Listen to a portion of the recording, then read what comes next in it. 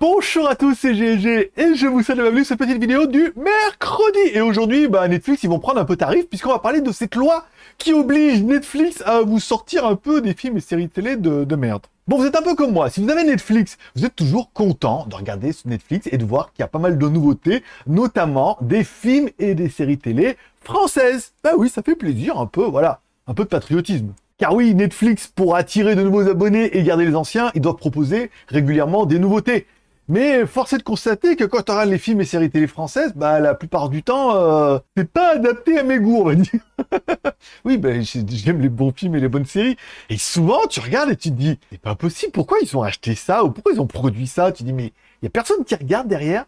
Alors, pour pas être mauvaise langue à fond, il y a des fois des séries qui marchent. J'ai bien aimé Lupin, les premières saisons. Après, euh, j'ai complètement décroché. Des fois, il y a des trucs qui sont pas trop mal, des films. Mais faut avouer que la majorité, quand tu regardes, tu te dis, on n'est pas au niveau de, de personne. Hein. Alors on pourrait se demander, on dire, mais Netflix, ils regardent pas avant ce qu'ils achètent? C'est-à-dire qu'ils achètent et puis ils diffusent et on verra? Ou alors ils ont l'obligation de mettre du volume et puis ils regardent pas, ils s'en foutent On a envie de savoir. Et eh ben un peu les deux, mon général, en fait. Bah pour pour garder un peu des abonnés, Netflix doit mettre régulièrement des nouveautés. Voilà, il faut mettre de la nouveauté, des nouveautés. Alors des fois, bah ça plaît pas. Puis des fois, il y a des trucs, bah, moi, qui me plaisent pas, mais qui plaisent à d'autres. Encore une fois, voilà, on va dire les goûts et les couleurs, ça ne juge pas, et il en faut pour tous les goûts. Donc, il doit avoir du volume, régulièrement, il doit y avoir des nouveautés. Et raison numéro 2, c'est cette loi française. Alors, je vais vous lire directement le texte, puisque, faut pas dire de bêtises, Netflix doit consacrer au moins 20% de son chiffre d'affaires français à la production audiovisuelle française, bien évidemment, avec une attention particulière pour le contenu français. Ok, bien. 80% pour le visuel et 20% pour le cinéma, dont 75% doit soutenir des œuvres d'expression originale françaises. Si des films récents sont proposés, cet investissement passe à 25%. Donc en gros, Netflix, pour pouvoir diffuser en France, ils doivent investir une partie de leur argent dans de la production française. Également, puisque France oblige, mais je crois qu'il y a l'Europe il y a pas mal d'autres pays, il y a eu un accord avec l'industrie audiovisuelle française. Un accord avec l'industrie prévoit une augmentation progressive de l'investissement dans les œuvres français avec un engagement vers le soutien au cinéma indépendant et à la diversité des programmes, incluant documentaires et animations. Donc en fait, c'est une obligation. Ça veut dire, en fait, pas de produire des trucs de merde, on est d'accord, mais de d'investir, de réinvestir une partie de l'argent qu'ils gagnent en France dans de la production française.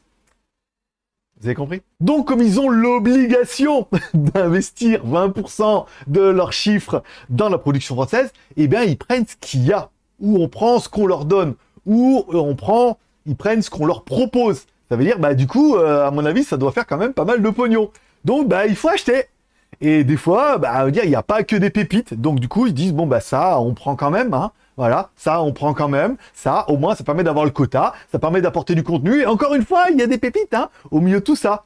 Mais euh, souvent, euh, on cherche de l'or et on le trouve pas. Donc voilà, quand on cherche un petit peu, on comprend mieux pourquoi Netflix achète des trucs où tu te dis non, là ça va pas. Ben parce qu'ils sont obligés, ils doivent mettre leur quota, ça apporte du volume, ça attire, et ça c'est valable dans tous les pays. Puisque je vois que dans d'autres pays, des fois, il y a des productions, tu mets un VPN, je sais pas, on va dire au en Thaïlande, par exemple, il y a des trucs thaïlandais, tu te dis, Waouh Ah ouais, quand même. Mais encore une fois, voilà, pour diffuser dans le pays, ils doivent investir dans le cinéma, donc ils achètent euh, ce qu'il y a, ce qu'ils peuvent. Des fois, c'est bien, et des fois, euh, c'est un peu moins bien. voilà, ce sera tout pour cette petite vidéo. Alors, qui n'est pas vraiment à charge, mais on comprend mieux le pourquoi du comment maintenant. À chaque fois que tu verras un truc, dire, ouais, ben, ben voilà, faut qu'ils dépensent leur argent.